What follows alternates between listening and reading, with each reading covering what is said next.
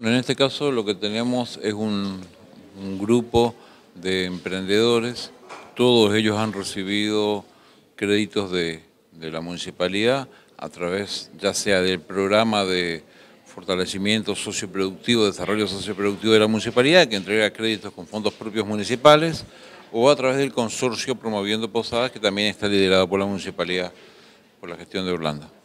Eh, en este caso, la idea es que ellos puedan por un lado, escuchar al vicegobernador, conocer un poquito su perspectiva sobre la producción, sobre todo para los sectores que son incipientes productivamente, que están haciendo quizás sus primeros pasos en su fortalecimiento productivo y que también el vicegobernador pueda escuchar directamente de los emprendedores cómo ven ellos su situación, cuáles son sus perspectivas y sus necesidades para crecer, cuáles son las limitaciones que tienen. Y creo que el Estado que uno sueña, que quieren ustedes, que quiero yo, que quieren los vecinos de ustedes, es un Estado que esté cerca de la gente. Creo que básicamente eso. Lo que yo siempre soñé también como votante, como ciudadano común, es que el Estado estuviese lo más cerca mío, el Estado municipal, provincial, nacional, que esté cerca, que me escuche, que sepa que me hace falta eh, queremos mejorar nuestra calidad de vida, es parte de la condición humana y eso, eso está muy bueno.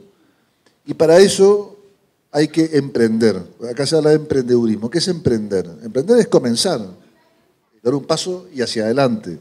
Y para eso el Estado, en su cercanía, debe ser ayudador a ese paso. Porque solito ese paso es muy difícil darlo. Y para nosotros, como proyecto político, como gobierno, el trayecto es hacia adelante, es emprendiendo.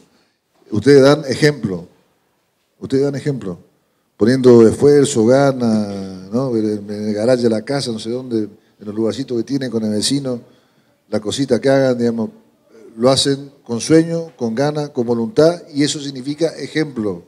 Ustedes dan ejemplo al resto de la sociedad.